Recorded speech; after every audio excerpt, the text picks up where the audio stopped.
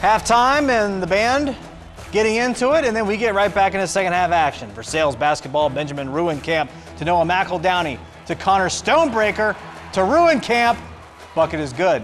New Bremen cut the lead to six. Versailles again, McEldowney with the steal and the layup.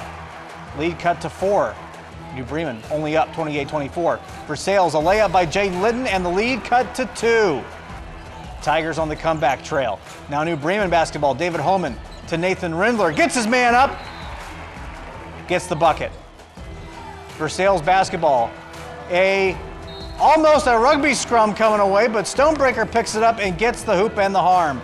With New Bremen closing seconds in double overtime, able to hang on to the lead in this one. And New Bremen coming away with the big win 61 to 58 in double overtime. We'll have this one for you in its entirety tomorrow night on WOSN 915. New Bremen improving to 13 and 3 now the last undefeated team remaining in the MAC David Holman chipping in 19 points for the victorious Cardinals tonight.